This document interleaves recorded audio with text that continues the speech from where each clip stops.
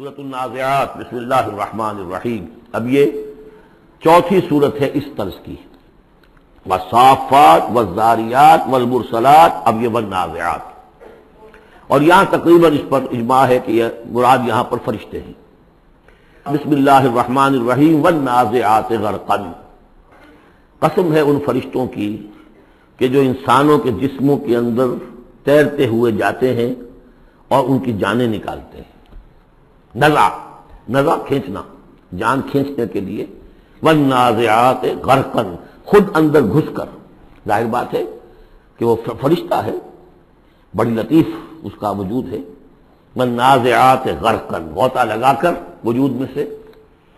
والناشطات نشتن اور ایسا بھی ہے کہ جیسے گرہ کھول دی جائے، کھول دینے والی بات۔ ایک حدیث میں آیا ہے کہ مومن کی جان جب فرشتہ قبض کرتا ہے، تو ایسے محسوس ہوتا ہے اسے کہ جیسے بند منہ تھا، ایک مشق کا اس میں سے ایک قطرہ نکل گیا بس۔ اور جب وہ جان کھینچتا ہے، روح قبض کرتا ہے کافر کی، تو جیسے کہ سیخ پر سے گرم کباب کھینچتا، کھینچا جاتا ہے۔ تو یہ دو مختلف کیفیات، لیکن اس کا تعلق جسم والے معاملے سے نہ سمجھیے۔ آخری وقت عالم نزا تو بہت سے نیک لوگوں پر بھی سخت آ جاتا ہے۔ حضور پر بھی عالم نزا جو ہے وہ سخت آیا ہے۔ اور اس میں بار بار حضرت فاطمہ رضی اللہ تعالیٰ عنہ رو دیتی تھی با بتا ہو ہائے میرے ابا جان کی یہ کیا کیفیت ہے؟ اور حضور فرماتے تھے کہ بیٹی، آج کے دن کے بعد تیرے باپ کے لیے کوئی سختی نہیں ہے۔ تو ایک ہے ظاہری جسم کا معاملہ، ایک ہے اندر سے جب روح جب وہ گرہ کھلتی ہے، اس وقت بالکل بندہ مومن کے لیے ایسے ہوگا جیسے کہ ایک جو قطرہ تھا بس، بند مشق میں سے وہ نکل آیا۔ بس صاب ہاتھ سبھا پھر یہ فرشتے تیرتے ہوئے فضا میں اور خلا میں اس روح کو لے کر جاتے ہیں۔ کہاں لے کر جاتے ہیں؟ یہ آگے آئے گا ویل المتففین میں صورت المتففین میں۔ فس سابقات سبقن پھر وہ آگے بڑھتے ہیں ایک دوسرے سے نکلتے ہیں۔ فل مدبرات امرا پھر جو حکم ہوتا ہے اس کی تدبیر کرتے۔ ہیں یہ فرشتے ان کو کہاں لے کر جانا ہے؟ یہ سجین میں جانے والی جان ہے۔ یا یہ کہ اعلیٰ علیین میں جانا ہے، وہ سب اس کے مطابق کریں گے۔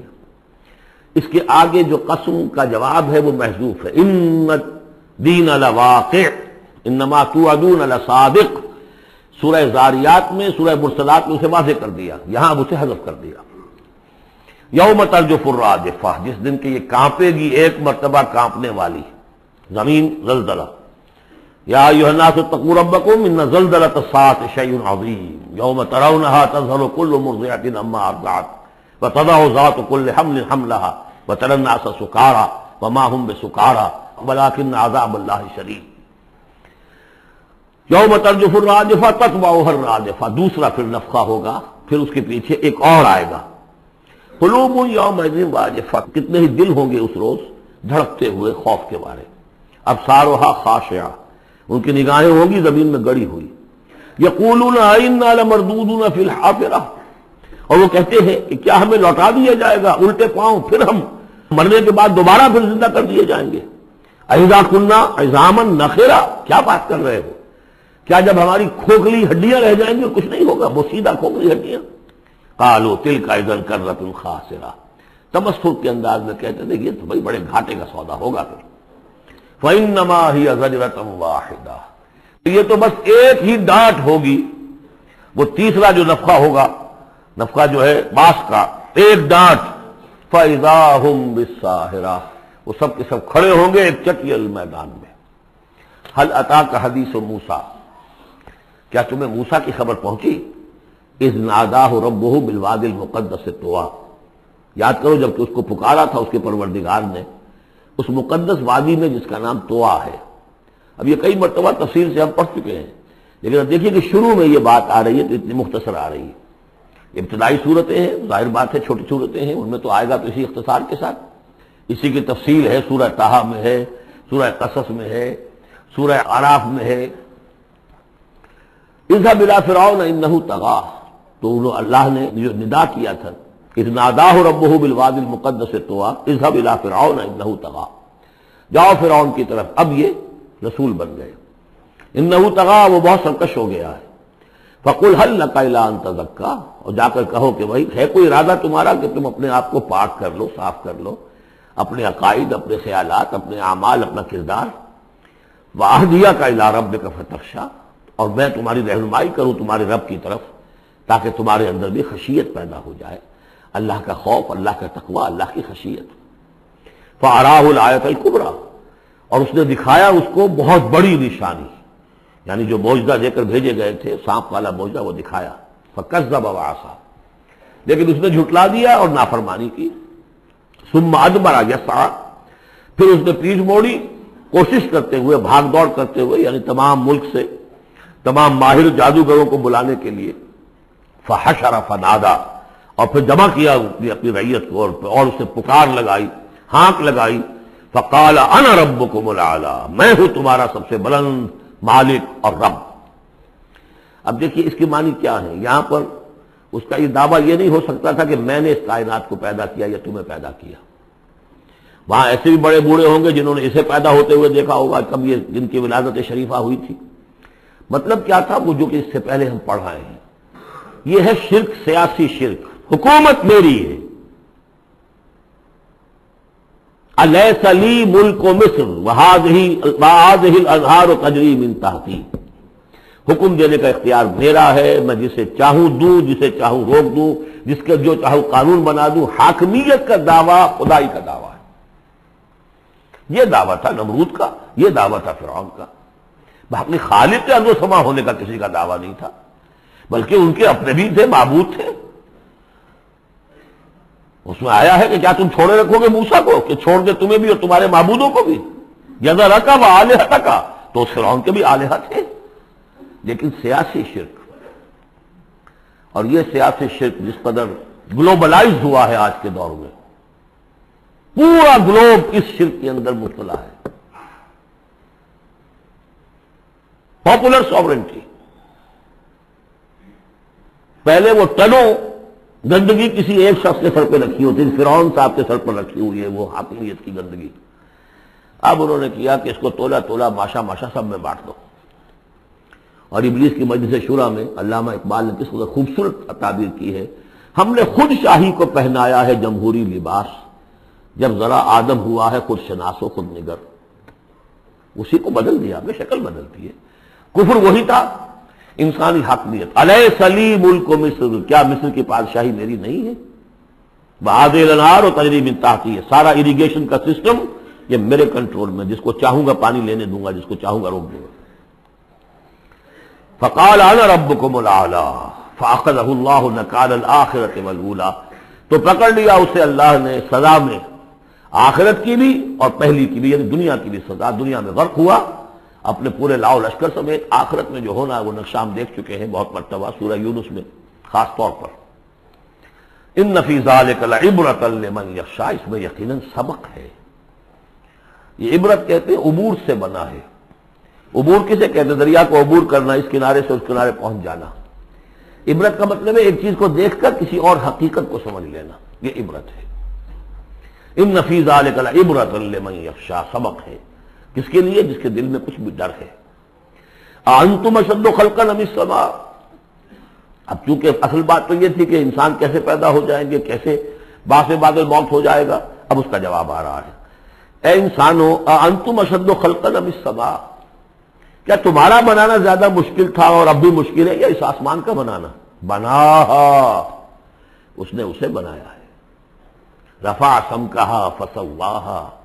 اس کے گنبد کو بلند کیا ہے اور پھر اس کا تصویہ کیا ہے، اس میں توازن رکھا ہے۔ وہ کشا لے لہا واقع اس کی رات کو اندھیرا کر دیا ہے اور اس کی دن کی دھوپ کو اور روشنی کو نکالا ہے۔ وہ لرد آباد ازال کا دہا پھر اس نے زمین کو بچھا دیا ہے۔ اخرجا منہا ماہا اسی میں سے نکالا ہے اس کا پانی۔ وہ مرا اب نوٹ کیجیے۔ اخرجا منہا ماہا یہ پانی کہاں سے آیا؟ زمین کے اندر سے آیا ہے۔ لیکن کب کی بات ہو رہی ہے یہ؟ اس وقت کی نہیں۔ بلکہ جبکہ یہ زمین ایک ناری کرا تھی، پھر ٹھنڈی ہوئی۔ ٹھنڈی ہونے میں اسی کے بخارات نکل کرتے ہیں کہ جس نے گیسوس جو ہے، بلینکٹ، اس کی جس کو ہم فضا کہتے ہیں ایٹماسفیئر اس کے اندر وہ وہ گیسز تھی یہیں سے نکلی ہے اور وہاں جا کر ان میں پانی بنا ہے۔ ہائیڈروجن اور آکسیجن نے مل کر۔ اور پھر وہ برسا ہے تو پانی نکلا کہاں سے؟ زمین سے نکلا۔ البتہ اب اس کی سائیکل ہے۔ اب سورج جو ہے سمندروں کے اندر پانی ہے، ان کو بھاپ بنا کر لے جاتا ہے بخارات کی شکل میں۔ ہوائیں ان کو پھر منتشر کرتی ہیں۔ وہ پھر کہیں جا کر پہاڑوں پر برف بن کر گرتا ہے، کہیں بارش بن کر گرتا ہے۔ وہ پانی چلا آ رہا ہے۔ اور جو بڑے بڑے گلیشیئرز ہیں پہاڑوں کے اوپر سمندر جو برف ہے، وہ گویا کہ اوور ہیڈ ٹینک ہے ہمارے لیے، پوری دنیا کے لیے۔ وہیں سے رس رہا ہے پانی۔ چھوٹی چھوٹی نالیوں سے آتا ہے، وہ ملتے ہیں، پھر نالے بن جاتے ہیں، پھر دریا بن جاتے ہیں۔ اور وہ دریا پھر جو ہے دھوتے ہوئے اس زمین کو صاف کرتے ہوئے بارش برس رہی ہے، فضا کو صاف کرتی ہے۔ اور پھر وہ پانی پھر دوبارہ سمندر میں جاتا اخراجہ منہا ماہا اسی میں سے نکالا ہے اس کا پانی بھی۔ وہ مرآہا اسی میں سے اس کا جو کھا رہے ہیں تمہارے احبانات۔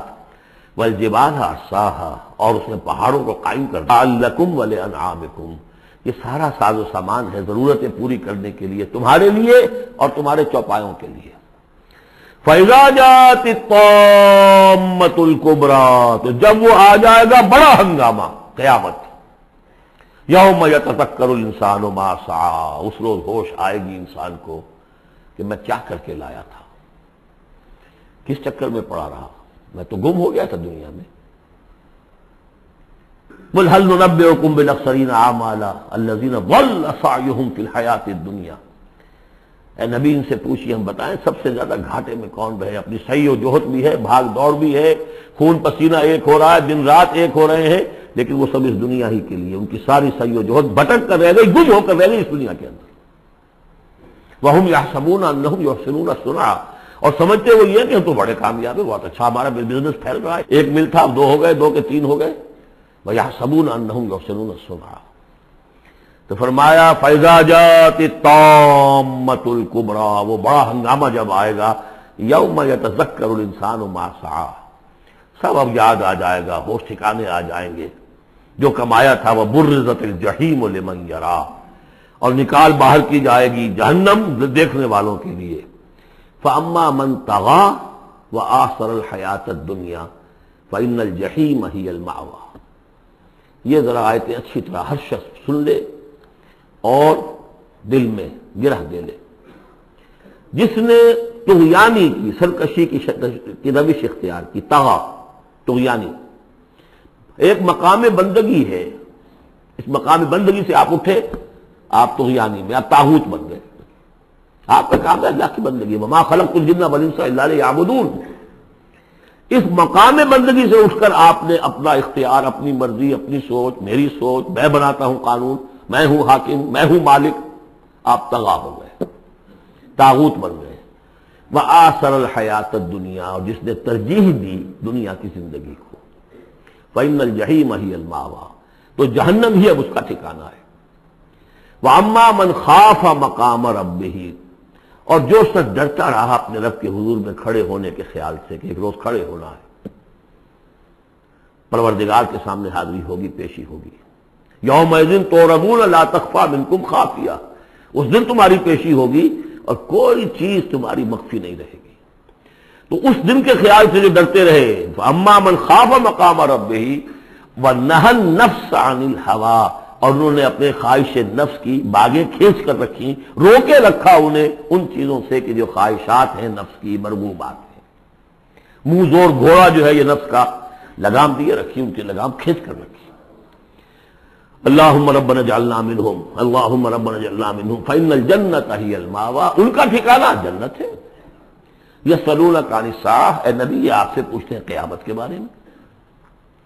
ایان مرسا، وہ کب لنگر انداز ہوگی، کب آئے گی؟ فی مانتا من ذکر آپ کا کیا تعلق ہے اس بات کے ذکر سے کہ کب آئے گی؟ یہ آپ کا کام نہیں ہے۔ الا رب کا منتہا وہ اس یہ اس کی خبر جو ہے کہ وہ کب آئے گی، وہ تو آپ کے رب ہی کی طرف ہے۔ اسی کا انتہا جو ہے رب کی طرف ہے۔ اور کوئی نہیں جانتا۔ انما انت منظر و من یکشا آپ تو بس ہے صرف خبردار کرنے والے جو اس سے ڈرتے ہو خبردار کر جو اسے ڈر جائے۔ ڈرتے ہو یا ڈر جائے۔ پہلے سے کوئی خوف ہے، وہ بڑھ جائے گا۔ خشیت بڑھ جائے گی، تقوی بڑھ جائے گا۔ اور اگر دل کے اندر پہلے سے نہیں بھی تھا، لیکن یہ کہ دل بڑا نہیں تھا، روح جو ہے پرورٹڈ نہیں ہوئی تھی، تو اس کے دل میں خشیت پیدا ہو جائے گی۔ کان نہ یوم یا رونا یہ ایسے ہوں گے جس دن کے اسے دیکھیں گے، جب وہ قیامت سامنے آ جائے گی۔ لم یلبسو اللہ عشیت کہ نہیں رہے اس سے پہلے وہ مگر کوئی ایک شام یا اس کی صبح بھی۔ پوری زندگی جو نظر آئے گی، جیسے آج ہمیں نظر آتا ہے۔ پانچ سال کی عمر کا واقعہ ایسے نظر آتا ہے جیسے کل ہوا۔ جو بھی یاد ہے، وہ تو کل کی طرح یاد ہے۔ اسی طریقے سے ساری زندگی ایسے محسوس ہوگی۔ لم يلبسوا الا عشیتا بارک اللہ لی ولکم فی القرآن العظیم ونفعنی وإیاکم بالآیات والذکر